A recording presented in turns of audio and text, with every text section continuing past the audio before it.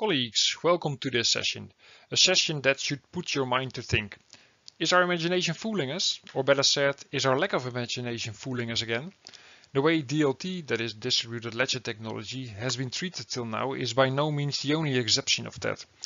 DLT enables you to create a desired way of living and working together. Actually, it's almost a divine task. DLT enables us to create societies and communities. There are many people stating it doesn't work that way, we need to stay within the current system, comply with that system. I'm not convinced. Should it work that way?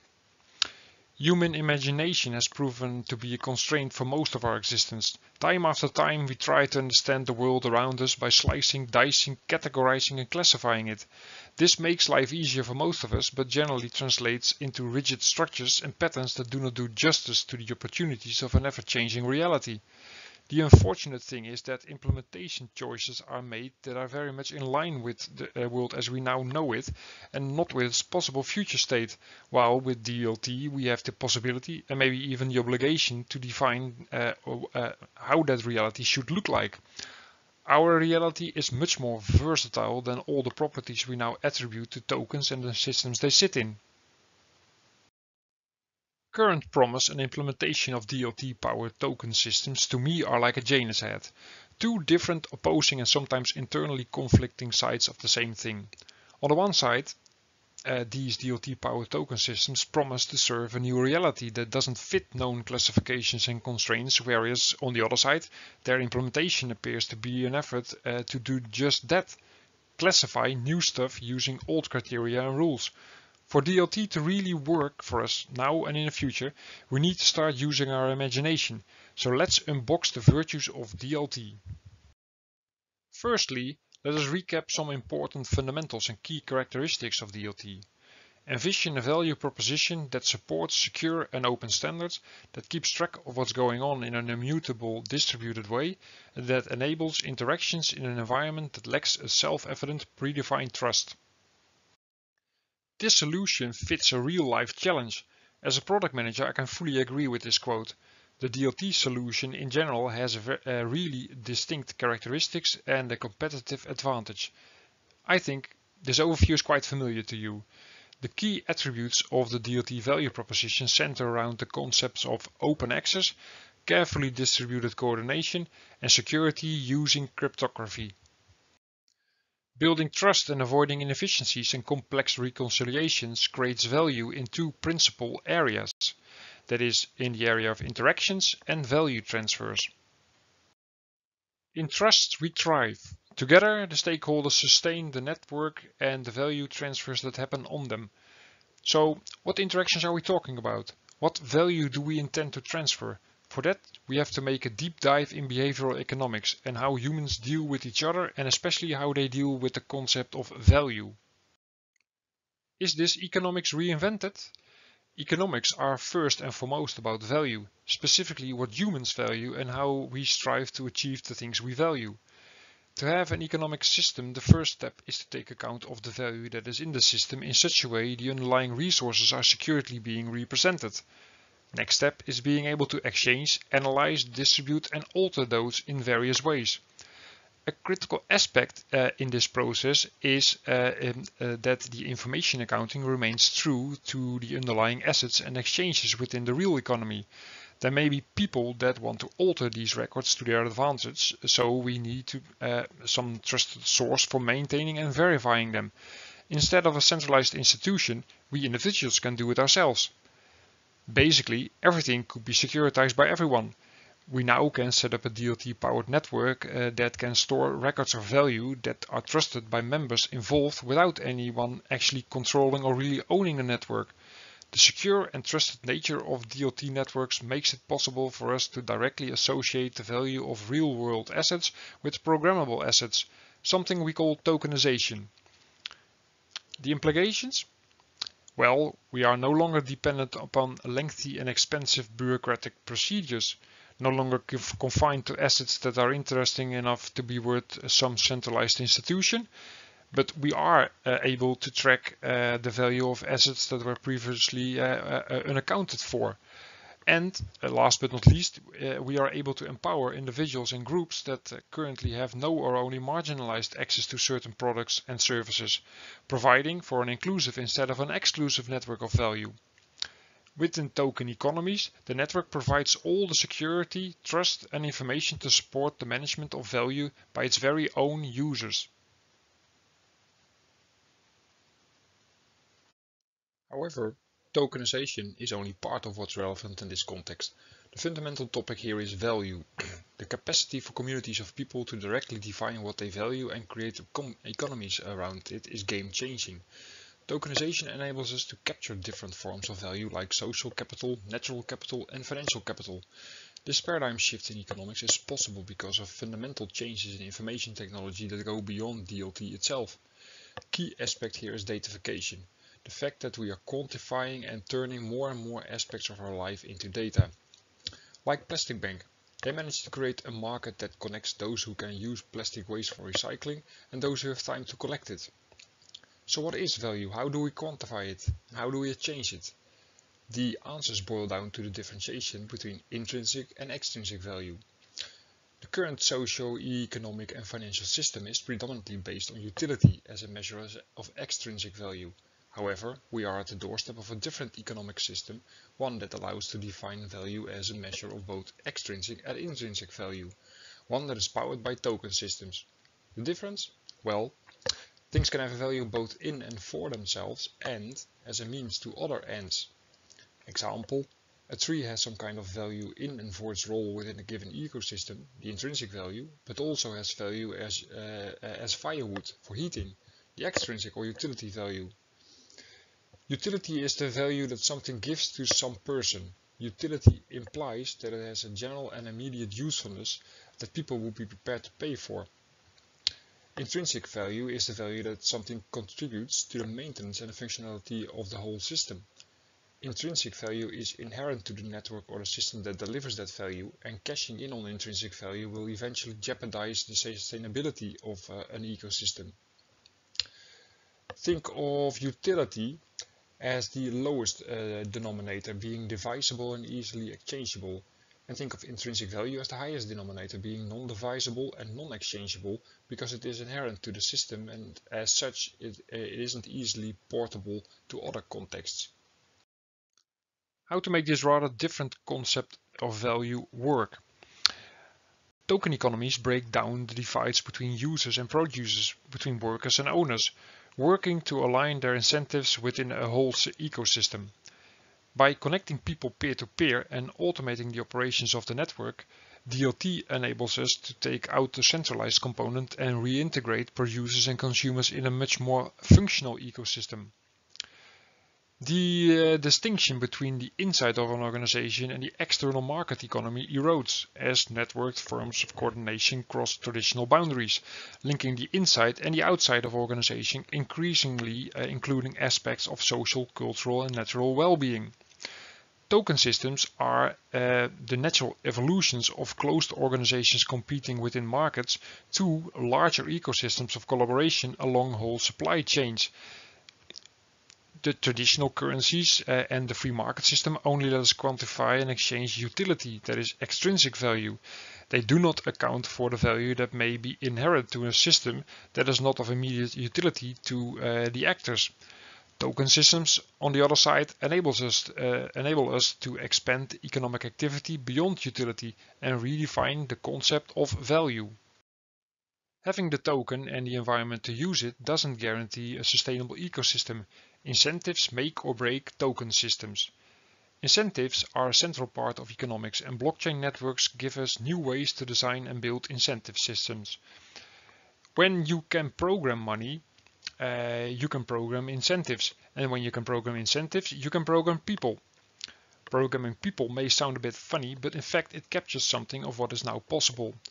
In fact, we have the capacity to rapidly build and implement large-scale structures for incentivizing human behavior towards certain ends. We are increasingly moving into a world where we can analyze, design and adjust real-world economic and social outcomes by deploying new protocols on the internet. The way uh, that we prove uh, that we value something is by locking ourselves into those protocols. The way we express our social values through an economic token is by locking ourselves into networks that express those values. This multi-value approach enables us to, us to, recognize and mobilize existing networks in completely new ways. Take for example the veggie token. If you were to create this veggie token, you could actually program it in such a way not to be usable to purchase meat products.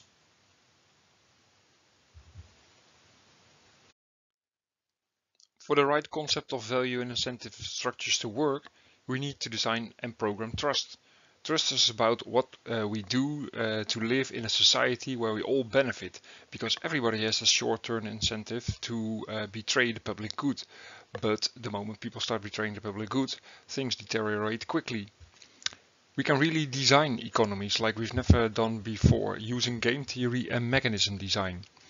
With token networks, we are looking for a mechanism design that does not depend upon a centralized authority specifying and enforcing the rules, but instead some kind of peer-to-peer -peer value exchange mechanism that is self-regulating through direct information feedback loops.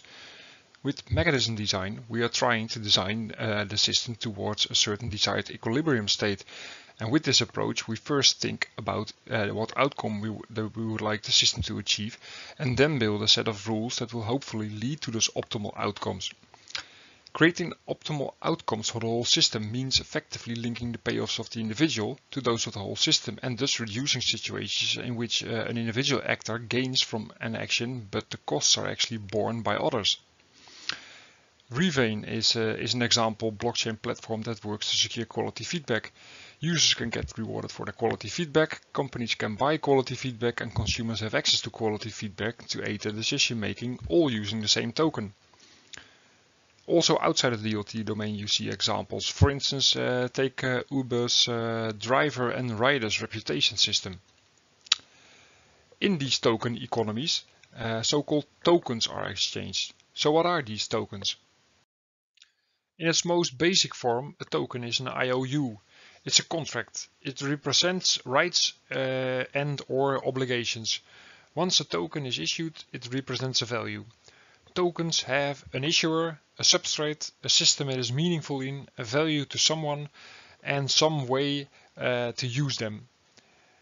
Examples of tokens are, uh, for instance, uh, poker chips, concert tickets, but also driver license, passports or airline tickets. Some tokens are identical, like for instance tickets to a party, and some tokens are unique, like for instance uh, airplane tickets. Some tickets can be transferred or traded. Uh, tokens that are unique uh, and transferable are said to be uh, of the same species, that is from the same smart contract. As you can see, tokens have many uses. However, when categorizing and classifying tokens, things are getting blurred. Token attribute categorizations like transferability or uniqueness do not place tokens in certain categories without reservation. For example, both identical and unique discount tokens exist. Neither do token dimension classifications like purpose, utility, legal status, underlying value and the technical layer the token is implemented on. That is, these dimensions tend to be complementary. Most tokens can be assessed in all dimensions. Although patterns emerge and obvious correlations between different token types exist, token implementations do not necessarily respect these. For example, many network tokens will also be network value tokens. Uh, and on the flip side, wh why can't, can't, I buy a middle-sized car uh, with my share of the Mona Lisa? Leads me to ask myself the question, what goal these categorizations and typologies serve? Do they do justice to the DLT promise of a makeable economy? Consensus indicates the biggest distinction exists between utility and security tokens, so let's briefly explore that uh, so-called divide. A utility token is a liquid medium of exchange that gives one access to the value created by a blockchain network. Utility tokens represent access to a service delivered by a DLT-powered ecosystem. The utility tokens are quantified units of services that can be accessed within that network. In, for instance, a community watch scheme, those who consume the service of looking out for each other's houses have to give tokens to those who provide it. So what makes a utility coin? The defining characteristics of utility coin is that they are not designed as traditional investments. If properly structured, uh, this feature exempts utility tokens from legal uh, re regulation covering traditional forms of security. By creating utility coins, a startup can sell, for instance, uh, digital coupons for the service it is developing, much as retailers pre-accept orders for a good that they may only be uh, uh, delivering uh, in a couple of months. take, for example, Filecoin. They raised uh, hundreds of millions uh, of dollars funding by selling tokens that will provide users with the access to their decentralized cloud platform. So the Filecoin token is purposed to be used to access those services. On the flip side, isn't such a token launch just an alternative to equity-based finance? Indeed, we can see that the traditional divides uh, defined in the industrial age for, uh, uh, financial system become blurred and redefined in the context of token economies. Security tokens represent rights uh, to an asset of some kind. It may be a piece of property, such as a house. It could also be a share in a company or a piece of art, be it a right or claim to the whole or to some defined part. Our world is full of different forms of assets. Many of those assets are very difficult to subdivide or physically move around, so buyers and sellers instead trade pieces of paper that represent ownership. However, this existing system composed of paper and lengthy legal agreements is cumbersome. Assets are difficult to transfer and can be very hard to track. The conversion of capital market to token networks would create many efficiencies. It could make uh, the somewhat elite world of high finance accessible to everybody, creating new opportunities for investors and new sources of uh, equity for organizations. As of the broad definition of what is considered an asset, the tokenization of assets could go in various directions. Some examples. Most obviously, of course, uh, it is the raising of initial funding for a new project. Already huge amounts of funding have been uh, moving into uh, uh this area uh, through ICOs. looking at real estate, for instance, what can be tokenized could be direct ownership of the real estate or uh, the right to rental income or for instance the right to use uh, uh, an asset like for instance renting an apartment the SweetBridge platform uh, uh, uh, allows people to securitize their own assets in return for liquidity. People could securitize the asset they own by simply locking it into the blockchain and receiving liquidity in return. And when they um, return the liquid capital, the illiquid asset, the property is unfrozen. Uh, in another area, the, the, commodity area, we have the Atomyze organization that plans to convert commodities into security tokens and trade them. Imagine a group of companies that want to trade palladium with one another. Normally they'd exchange paperwork and keep their own lists of trades, but if they could move to a blockchain-based system for trading the palladium, they could actually reduce uh, paperwork uh, uh and uh, also have uh, robust record keeping at the same time. Any asset that is currently traded on a capital market uh, as a security could be tokenized by linking them to a blockchain register. Um, in fact, any real-life asset could be securitized by linking it to a digital token and programming that token. Programmability is especially useful for proving ownership, uh, speeding up settlements and corporate actions, uh, besides dealing with compliance check. Apart from tokens that appear to be a utility or act as a security, there are token characteristics that reflect the value of being active on the network. These tokens align incentives between investors, both early and late, creators and consumers, and are called discount tokens. Discount tokens are digital assets that give their holders a specific claim to receive discounts on purchases of products or services from an organization. That organization could be a blockchain network. These discount tokens are not invalidated when used but remain active and in possession of the holders. In a discount token economy, creators and users of the network are clearly aligned, while passive investors and speculators find themselves at an, economic disadvantage. This is because discount tokens are more economically valuable to users than passive investors and thus work to discourage unconstructive price dynamics. The discount is fundamentally linked to the adoption and growth of the network. Discount tokens illustrate how we can uh, really think about basic economic structures and incentives and then build currencies that work in totally different ways to the ones we have today, rewarding those uh, uh, people that are actually interested in the development of the given economic network's functionality. SweetBridge again. Uh, a platform that enables people to securitize their own assets in return for liquidity.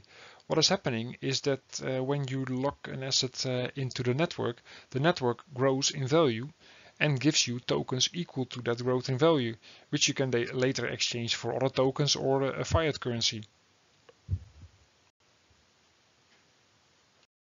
Lastly, the governance feature some tokens have is worth mentioning. Tokens with this feature are created to allow token holders to help shape the future of a protocol. Governance tokens holders can influence decisions concerning the project, uh, such as proposing or deciding on a new feature, uh, or uh, change the governance system itself. Proponents of uh, systems that use governance tokens believe that they allow for user control, which uh, holds true to the original cryptocurrency ideals of decentralization and democratization. In most cases, organizations who let users control the development of their systems are called uh, decentralized autonomous organizations or DAO. The Maker coin or, and the Maker platform uh, uh, is an example of this. The, the Maker token allows its uh, holders to vote on decisions regarding the decentralized finance protocol. Uh, and influence, uh, for instance, uh, the the rules for DAI price stability and the the debt ceiling. Note that a similar ecosystem called Compound has the comp governance tokens that is used uh, in DeFi transactions outside of its native context. So in theory, votes can be bought. Flipping the Janus coin, from a technical point of view, you have the complete freedom to implement your own token as long as you comply with the rules and standards of the ecosystem these tokens live on. Depending on the use case for the tokens, you may have to get it audited by a certifier or a regulator, so your freedom is always under scrutiny. Token systems are based on the concepts of value and the transfer of it. Token are units of value, but it is important not to think of tokens as being mere currencies. As indicated, there are many flavors available. Token programmability enables us to introduce certain business logic into smart contracts, allowing for automated events to occur to support the processes in the ecosystems the token uh, is used. That is, tokens are programmed with certain rules that define what can be done with the assets that you have moved onto the blockchain. On a DLT-powered network, the network actors Uh, communicate with these smart contracts to have their meaningful interactions. From a programming perspective, it is important to be predictable because predictability increases the trust in what we create and this trust increases the chances of our solutions being successfully audited, certified and eventually accepted as useful by our stakeholders. A network not used is no use. This is the reason for the driving forces behind many DLT implementations to come up with some rules of the game. These rules boost development productivity of token systems, since you do not do not have to invent the wheel yourself again. It also boosts the ability to connect different token implementations, the interoperability. These rules and standards uh, usually translate to interface definitions for a token, where this interface programming language construct or contract defines what features need to be implemented for your token to be, uh, for example, fungible or non-fungible or security. Besides the interface specifications, there's usually a lot of additional guidance to mitigate undesirable effects of inherent uh, or so-called backward compatible logic. Basically, any self-respecting DLT implementation has their own set of rules and specifications of what given token type types uh, look like and what behavior is expected. Cross-pollination between platforms, uh, uh, platform implementations does exist though. for, instance, for instance, the plastic coin, uh, which is an ERC20 implementation on Hyperledger Fabric for circular economy and plastic reuse. Since Ethereum has the longest standing record regarding token smart contracts, we elaborate on some noteworthy details of their most prevalent and proven specifications. Uh, the ERC20 uh, specification is uh, the standard specification for fungible tokens. Uh, the ERC 721 is a standard specification for non-fungible tokens and the ERC 1400 uh, uh, specification uh, represents actually a library uh, of standards for security tokens. there are some dependencies between the standards, but these are usually called soft dependencies, so that's not by inheritance. Some noteworthy facts. This specification provides basic functionality to transfer tokens as well as allow tokens to be approved so they can be spent by another on-chain third party. It allows any tokens on Ethereum to be reused by other applications from wallets to decentralized exchanges. Notable fact, Ether as a token is not an ERC20 uh, compatible token, reason why it's generally wrapped. Here we can also see a sequence of typical interaction for a withdrawal with an ERC20 compliant token smart contract, where Alice is the client and contract is not a smart contract in need for funds. Some noteworthy facts regarding the uh, non-fungible token specification. This standard allows for the implementation of so-called NFT smart contracts. This standard provides basic functionality to track and transfer NFTs, both by individual owners as well as designated third parties. NFTs can represent ownership over digital or physical assets. It is critical in each of those use cases that these items are not lumped together as numbers uh, in a ledger, but instead each asset must have its ownership individually and atomically tracked. Couldn't fit all the functions, so just some noteworthy facts. Uh, the uh, ERC 1410 is one of the library uh, for security token interfaces, each of which is covering a different aspect of security token functionality. Sometimes sibling interfaces are combined for a token depending on the need. So this specific uh, uh, interface describes functions to support tokens being grouped into partitions with each partition being represented by an identifying key and balance. Operational scope for the token is the partition level, but data about the overall supply of tokens and overall balances of owners is also tracked describes functions to have the holder's balance managed by a third party, as well as manage those third parties managing the holder balance. Given existing centralized organizations fail to align interests and incentives between the centralized authority and the users of the system, and uh, have problems delivering structure and functionality all the way out to the edges of the network, we need a paradigm shift in our thinking to overcome the exclusive and fractured system we live in today, both regarding what it is we want to achieve, the business side, and how we want to achieve it, the implementation side. The alternative? Strive towards decentralized coordination and self-regulation, create self-sustaining incentive-aligned economies by incorporating all relevant value tokens, systems and markets. Use open standards that support uh, a new reality. Come up with standards and definitions to support any tokens we want now and in the future. So if you do not want a token to reflect the value of the underlying asset, or if you do not want a birth certificate to be transferable, use or create a contract uh, specification that doesn't do so. But if I break a leg and a friend needs some physical exercise, I'm happy to transfer my gym membership temporarily.